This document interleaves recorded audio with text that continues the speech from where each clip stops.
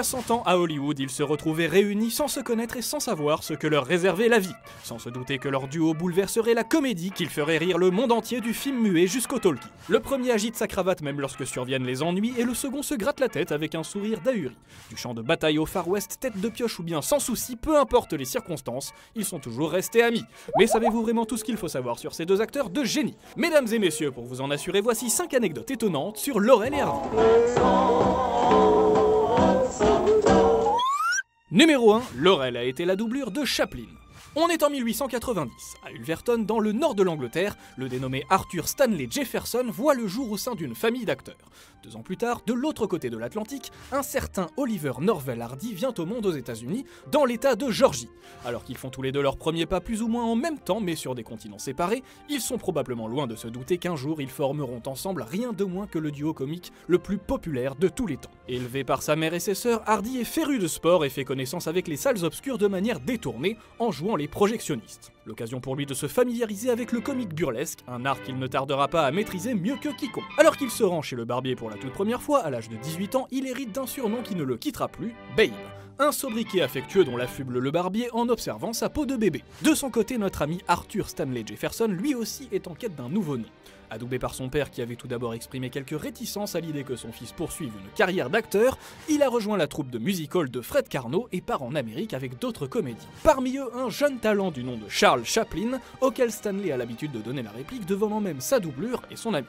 Après le départ de Chaplin pour Hollywood et la faillite de la troupe, Stanley Jefferson tente de rebondir c'est sa première épouse, Charlotte Mae Dahlberg, qui lui trouve son nouveau nom d'artiste. En tournant les pages d'un manuel d'histoire, elle tombe par hasard sur la gravure d'un empereur romain couronné de laurier, en anglais Laurel. Bref, un petit mot bien reconnaissable, synonyme de gloire et de victoire, qui devrait permettre au jeune Stanley de se paver une belle autoroute vers le succès.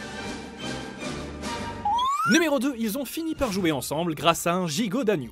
Au début des années 20, Stan Laurel et Oliver Hardy sont donc deux jeunes acteurs qui poursuivent leur petite carrière chacun de son côté, comme deux piles électriques qui n'ont pas encore eu l'occasion de se retrouver dans la même lampe de poche, et qui ne se sont encore jamais croisés. Jusqu'à ce qu'un beau jour, très beau jour, ils se retrouvent par hasard sur le même plateau de tournage. Coup de pouce du destin, coup de théâtre ou coup de bol, le film en tout cas s'appelle Le Vénard. Laurel y interprète le personnage principal, un vagabond confronté à un voleur à la tire interprété par Oliver Hardy. Bref, les deux acteurs font leur job, se serrent la main, se disent au revoir, personne ne perçoit véritablement la mine d'or sur laquelle ils sont en train de s'asseoir, et les aventures de Laurel et Hardy auraient tout à fait pu s'arrêter là. Heureusement, la vie est bien faite et ils se retrouvent réunis à nouveau en 1926 dans les studios du célèbre producteur de comédie Al Roach, et dans des circonstances un peu différentes en effet, Roach a choisi d'engager Laurel non pas comme comédien, mais comme scénariste et metteur en scène, deux nouveaux métiers pour lesquels Stan s'est découvert un vrai talent et une vraie passion.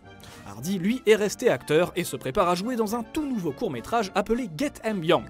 Le nom du réalisateur? À votre avis? Stanley Laurel. Bon, bah c'est cool ça, ils vont pouvoir bosser ensemble à nouveau, se rendre compte du potentiel illimité que pourrait représenter leur collaboration et entamer une carrière en duo. Sauf que non. Eh non, en effet, quelques jours avant le tournage du film, Oliver Hardy est dans sa cuisine en train de se préparer un bon gigot d'agneau, la poêle lui échappe, il se brûle, tombe à la renverse, bref, se fait bien mal, ce qui l'empêche de venir tourner.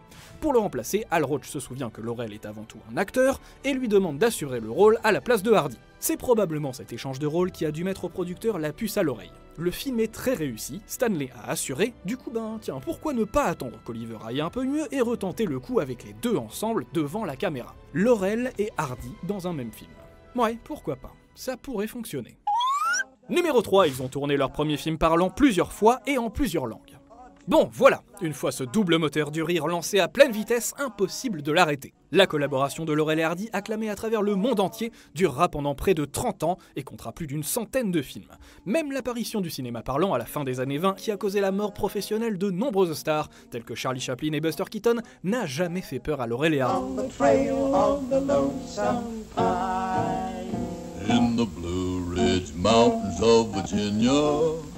Bien au contraire, en plus de leur très célèbre chanson du coucou, qui accompagnait chacun de leurs films, ils ont su imposer leur voix parfaitement identifiable et leurs accents américains à couper au couteau, même auprès du public français. D'ailleurs, tiens, c'est vrai ça.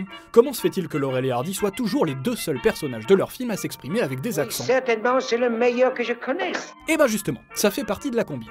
Au moment de passer au parlant, pour continuer de toucher un public international, les films de Laurel et Hardy se doivent d'avoir leur version originale, mais aussi française,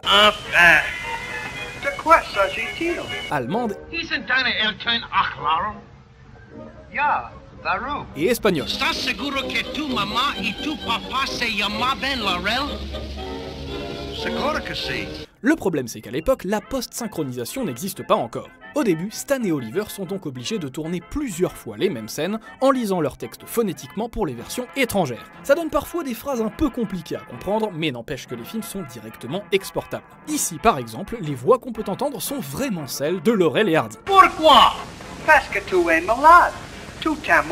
Bon, par contre, comme on pouvait un peu s'en douter, ça n'a pas duré très longtemps parce que bon, tourner quatre fois le même film au bout d'un moment, c'est chaud. Du coup, Laurel et Hardy ont fini par faire appel à des comédiens de doublage, ce qui est quand même beaucoup plus simple. Sauf que comme le public était déjà habitué à leurs accents si reconnaissables, les acteurs qui les ont doublés ont continué à parler de la même façon. Tendez bien l'oreille quand vous regardez un Laurel et Hardy, vous entendrez la différence. Là, par exemple, c'est les voix originales, C'était un prétexte pour me débarrasser d'elle. et là, ce sont les comédiens de doublage. Merci, monsieur l'agent. Nous Numéro 4, Laurel était le cerveau du duo. Un grand, un petit, un qui se met en colère, un qui fait des âneries, un qui mène la danse et un qui obéit. Bref, quand on connaît bien la dynamique du duo Laurel et Hardy, un fonctionnement qui ne change quasiment jamais d'un film à l'autre, on peut avoir un peu de mal à imaginer que dans la réalité, c'était totalement l'inverse. En effet, dans les films, Laurel joue plutôt le rôle du simple d'esprit naïf et oisif, alors que Hardy prend toutes les initiatives. Eh bien, sachez-le, dans la vie, l'entrepreneur, le créatif, le bosseur du duo, c'était Laurel. Ainsi qu'on vous le disait, en plus de ses talents de comédien, Stanley s'était rapidement pris d'intérêt pour l'écriture de scénarios et même la direction d'acteurs. Du coup, il ne se contentait pas d'incarner Laurel à l'écran, loin de là. Il était en quelque sorte le gardien du duo, le garant de leur réussite, et surveillait de très près chaque étape de la fabrication des films. Avant, pendant et après. Il écrivait les scripts et les blagues lui-même, il conseillait les réalisateurs sur des choix de mise en scène et dirigeait les autres acteurs excepté Hardy qui n'en avait pas besoin, et il passait des heures en salle de montage pour contrôler le résultat. C'est probablement la raison pour laquelle le résultat en question n'a jamais été décevant. La rigueur de Laurel et son talent comique couplé au génie de Hardy ne pouvaient que faire mouche auprès du grand public. Les spectateurs de l'époque, successivement frappés par la Grande Dépression et par la Seconde Guerre mondiale, avaient en plus toutes les raisons du monde de s'identifier à ces deux vagabonds, souvent en situation d'échec, misérables, extraordinairement humains et vulnérables, à la seule petite différence près qu'ils arrivaient toujours à transformer leurs problèmes en éclats de rire, comme le rappelait l'expert Simon Louvige dans son ouvrage. Autre particularité importante, Laurel et Hardy refusaient catégoriquement de provoquer le rire aux dépens de quelqu'un d'autre, comme l'ont beaucoup trop souvent fait leurs successeurs américains. Bref, un principe noble qui aura permis aux deux comédiens de traverser les époques et les générations.